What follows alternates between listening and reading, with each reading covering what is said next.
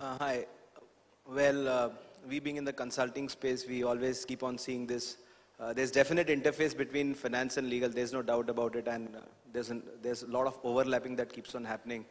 Uh, one of the important areas which we have seen is obviously the CF wants to keep the cost down. That's obviously one of the most important things, and especially for a sector like ours, it becomes more critical in troubled times. And obviously, the legal guy wants does not want to expose himself to legal risks uh, which has to be kept at bay all the time, extremely important again.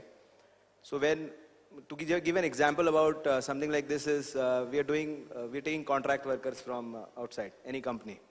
Now when you do that, uh, maybe the CFO is looking at the cost saying that fair enough, this contractor is giving us a good rate and the margins are much lower. But what the legal guy says, say he does not have a PF registration, does not have an ESIC registration, will fall into legal problems later on. So the interface becomes very, very critical. We all are very well aware of what happened with Maruti uh, in case of contract labor. It's, a, it's in the public domain. So once that big brick sometimes or someday falls on us, we'll be in big trouble. Now, having said that, so what is the solution? Uh, does the CFO uh, say what he does because he needs to save his costs, or the legal guy should be saying, no, then there has to be an interface? Well, if you ask, in my opinion, it is best to not go against the law.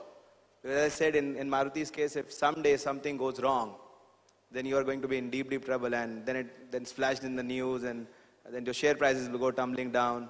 We've seen that in a lot of recent cases also with companies as well. So that is what I think about uh, strong legal financial interface. Finance interface is very, very critical.